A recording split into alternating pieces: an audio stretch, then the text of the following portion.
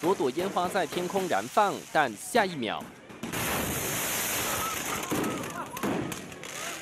这起恐怖的爆炸意外，昨晚在吉打双溪大年举行的大宝森节庆典上发生。当时现场有大约三万人，而爆炸发生后，民众仓皇逃命，场面混乱。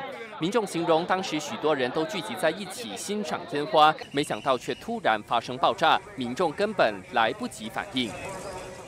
Tak boleh lari, dia letup saja sebagai satu angin dengan macam chemical kena pah satu kali. Oh, tak mampu buat apa-apa lah. Tak boleh buat apa.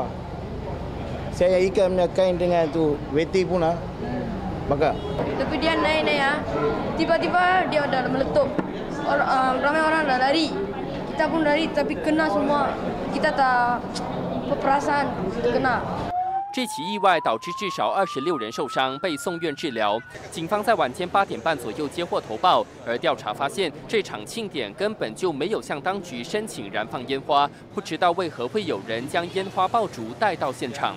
警方澄清，引起爆炸的是爆竹，不是烟花。虽然初步调查确认不涉及恶意成分，但四名涉嫌在场燃放爆竹烟花的人已经当场被捕。Kita kes ni kita anggap selesai, kita dah buat tangkapan empat uh, orang yang untuk siasatan lanjut kita lah.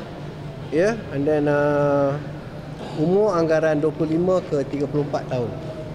Ya, yeah? kita tahan untuk siasatan lanjut lah. dipercayai terlibat uh, dipercayai yang uh, apa uh, membakar mercun ni lah.